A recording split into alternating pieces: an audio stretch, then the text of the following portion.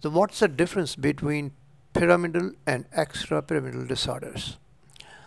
The pyramidal disorders are due to a lesion in the motor neuron that have their cell bodies in the motor cortex area 4 and the association area 6 whereas the extrapyramidal disorders occur in the motor neuron that lie outside the motor cortex or association area in the cerebral hemisphere.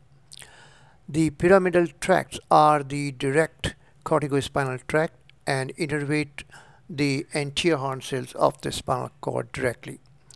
Whereas extrapyramidal tracts are the indirect to spinal cord and they are the corticobulbospinal tract. The pyramidal tract control the fine movement and, and cause controlled inhibition of the movements. Function of the extrapyramidal is maintaining posture, proprioception and stretch reflexes.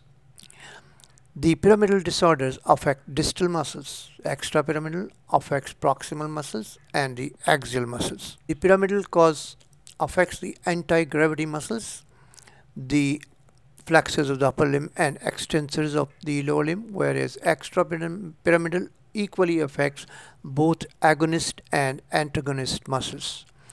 The pyramidal disorders are velocity dependent, whereas extrapyramidal are not velocity dependent and resistance is equally present throughout the move movement and does not vary with the speed of movement. The examples of pyramidal disorders are clasp knife rigidity and clonus whereas the example of extrapyramidal disorders is lead pipe or cogwheel rigidity in Parkinson disease.